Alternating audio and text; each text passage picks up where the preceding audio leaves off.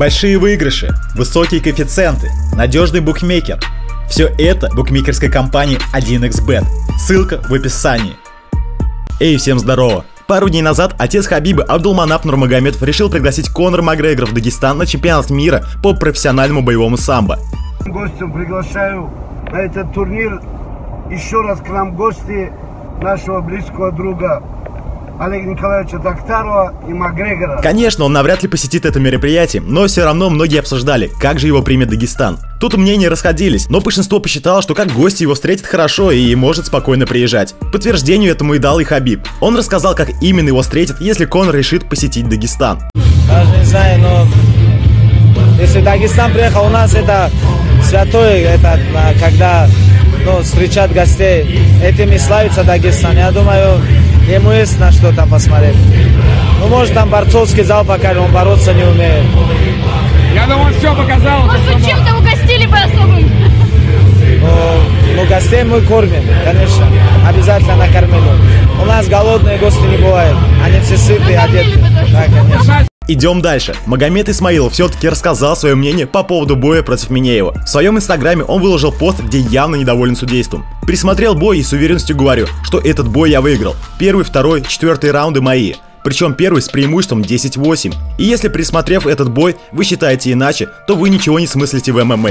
По поводу нарушений я все сказал в этом видео. Этот спорт, где есть правила. Я вышел драться по правилам. Рефери в ринге для того, чтобы пресекать нарушения. И если он же нагло закрывает на это глаза, то возникает вопрос почему. И зачем вообще он нужен? Рефери был заинтересован и предвзят. Я никогда не стану об этом молчать. Подонок. Но это была славная война. Я кайфанул от мяса в клетке. Отдаю должное Минееву, он хорошо держался. И что бы ни писали люди, я все равно смотрю в зеркало на свое побитое лицо и говорю, какой же ты бомбовый лысый, а на лице чисто боевой окрас. Всем добра и улыбок, и как можно меньше боевых окрасов на лице. Я доволен, Всевышнему. Нет, я просто, я, я не люблю предвзятость там и так далее. Я не люблю, когда рефери предвзято там э, судит. Я не люблю, когда а, глава там или как президент промоушена заходит в клетку и говорит, там, я думаю, что там Владимир победил там. Хотя это не так. Он не победил в этом бой. Как ты можешь думать, что он победил, если это не так? Ну, бой можно пересмотреть, можно там, может быть, все может быть. Я доволен в любом случае. Я не из тех людей, которые доволен одним результатом, другим результатом доволен. Я же говорю, иншаллах, если позволит Всевышний. Значит, так было суждено. Я в любом буду, в любом случае буду воздавать хвалу Всевышнему. В любом положении. Хвала Всевышнему. Ну и фиг с ним. Вот так, короче. Они Очень много споров вызвал этот бой, но судя по комментариям под его постом, большинство все же не одобрили его слова и посчитали, что он зря оправдывается. Кстати, парни, пишите по этому поводу, что думаете вы. Заслуженно ли была ничья, либо Мага и правда выиграл Минеева. Возвращаясь к Хабибу, после боя с Макгрегором он стал еще больше популярнее. И вот буквально вчера члены российского байкерского клуба «Ночные волки» провели встречу с Хабибом.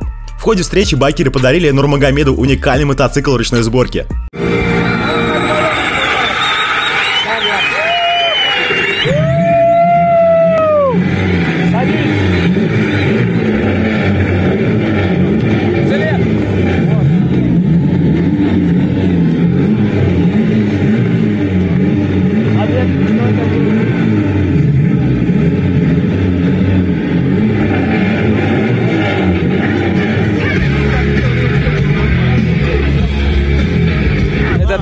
отечественный такой чисто русский подарок, который здесь у нас дома произвели. Так что большое спасибо. Будете есть? Да, конечно, вас сперва буду учиться, а потом ездить.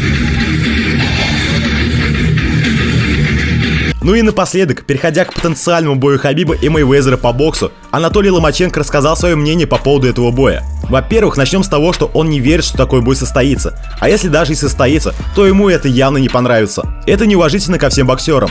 Да, это бизнес, хорошие деньги для обоих. Но это как театр. Пусть Флойд примет участие в UFC как боксер.